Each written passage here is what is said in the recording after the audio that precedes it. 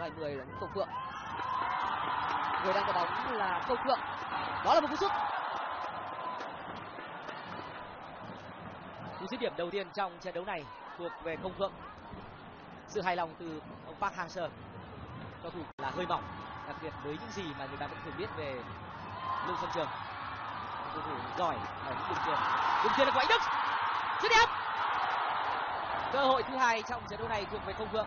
Đó là một cơ hội rõ rệt hơn với những dứt điểm cú đi đầu khá nguy hiểm. Pha băng lên và dứt điểm nhưng không thật sự trúng bóng là của trung vệ cú đá đầu tiên của đội bóng áo trắng. Rồi là cú sút của tiền vệ Ode Dabak đây là cầu thủ năm nay mới 19 tuổi, được huấn luyện viên Park Hang-seo triệu tập cho đợt tập trung lần này. Và ngày hôm nay bắt chính là thủ môn Đặng Văn Lâm. Trước đó thì chúng ta cũng đã nhìn được góc máy có để à, tìm ra một phương án cụ thể phương án thực sự phù hợp. Và trái bóng là của Quang Hải. Không được và sát là của Duy Mạnh. Những tình huống cố định như thế này được thực hiện rất nhiều. Những cầu thủ có chiều cao tốt khả năng không chiến tốt đã xuất hiện trong những vừa rồi. Anh Đức Đoàn Văn Hậu và bóng bóng bổng trước đó chúng ta phần nào đã gây được khó khăn. Một pha bóng bổng ý tưởng là rất rõ ràng. Và thiếu chút nữa chúng ta đã có tình huống kết thúc của anh. Dành cho các đồng đội thật tiếc là anh Đức đã không thể tiếp cận được với trái bóng. Đội này như thế nào? Đã phạt góc của Văn Quyết. Không được. Duy Mạnh. Sút xa! Đó là cái chân trái quen thuộc là của Quang Hải.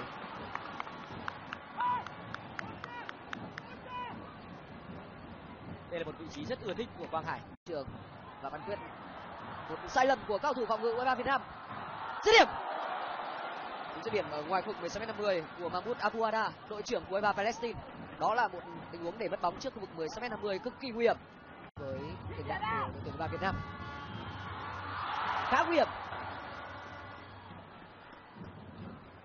Lần này thì tình huống có nửa đầu thời gian thi đấu của hiệp 1 để cho đội chủ nhà lấn lướt. Và lúc này thì mọi phương án của cầu thủ U23 Palestine đã trở nên rõ ràng hơn nhiều. Đánh đầu một công dành cho cầu thủ U23 Palestine. Rất bất ngờ đó là pha ghi bàn của Odey Dabak cầu thủ năm nay 19 tuổi.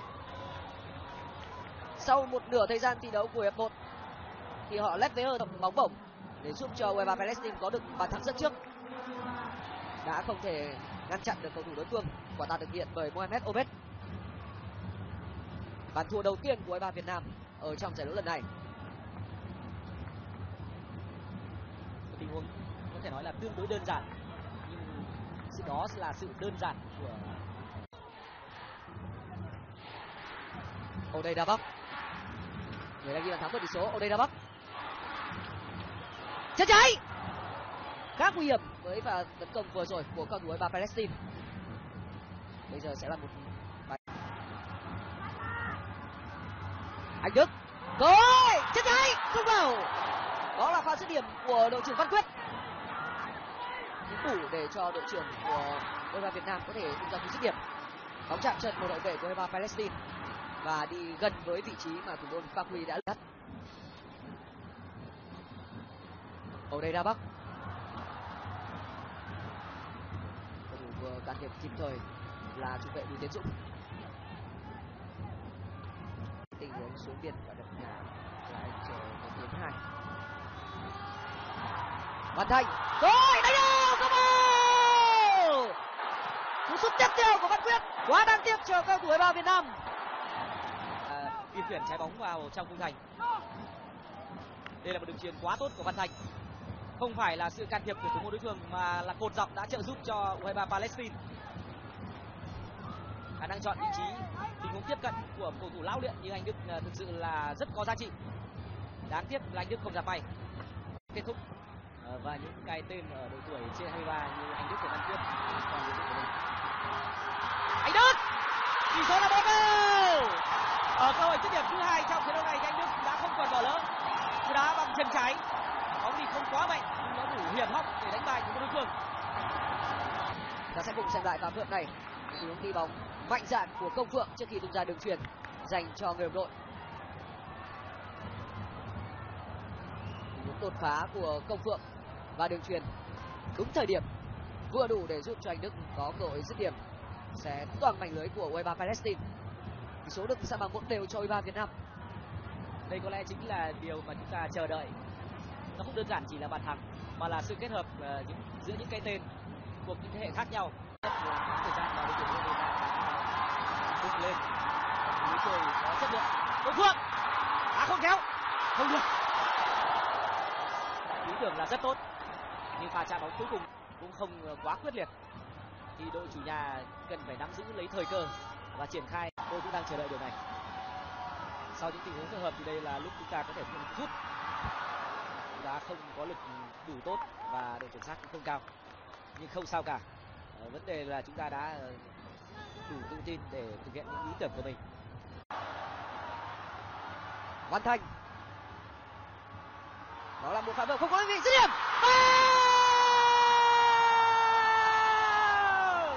Bàn thắng thuộc về công phượng tiền đạo của anh gia lai đã không ở vào thế việt vị khi nhận bóng? Và sau đó là một cú dứt điểm cực kỳ quyết đoán mang về lợi thế rất vàng cho ba việt nam. Nếu tôi không nhầm thì đó là cú thứ tư của hài lòng tốt nhất. Rõ ràng là tất cả mọi người đều thỏa mãn. Vuốt bóng rất đúng tầm cú đá hướng về phía góc xa và mọi chuyện trở nên vô vọng đối với người chiến sĩ thành của đội tuyển U23 Palestine. Cầu thủ đã chuyển bóng cho công phượng. Đó là quang hải bàn thắng đầu tiên là sự lượng như văn quyết hoàn toàn có thể bổ sung cho cầu thủ đàn em. Và xử lý rất nguy hiểm của đội tuyển U23 Palestine. Một cú vẩy má ngoài và thiếu chút nữa thì tỷ số. Và xử lý khá nhanh. Khi mà thủ môn đặng văn lâm đã trôn chân đứng nhìn thì rất may cho U23 Việt Nam lại trái bóng Palestine. Mahmoud. Có thể dứt điểm. Bóng vừa trúng vào người của tiến dũng. Tiếp tục là Josep Mahmoud rất đẹp! Cú cứa lòng bằng chân phải có thể nói là cực kỳ lợi hại của Josep Mahmoud và vừa rồi thì đã lên bộ đồ trung vệ của đối phương. Chúng ta vừa được xem lại tình huống cứu thua của đặng văn lâm.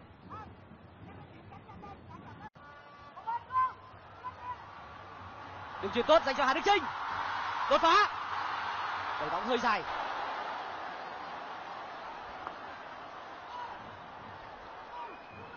Tình huống đầu tiên dành cho Hà Đức Trinh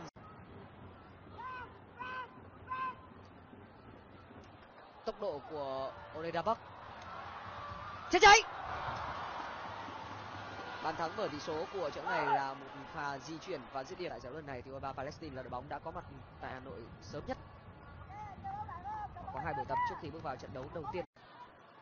Giải bóng đá giải quốc tế U23 Vinaphone. Đây là pha sút bóng của anh Sheriff dứt điểm không vào và pha phối hợp tấn công khá tốt của cầu thủ U23 bên cánh có vị trí đứng của Vũ Văn Thành.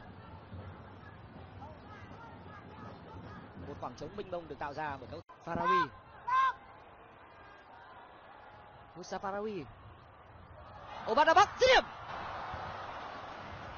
Rất nhiều vấn đề đối với hàng phòng ngự của U23 Việt Nam. Chỉ cầu thủ đã ghi bàn thắng mở tỷ số của trận đấu ngày hôm nay.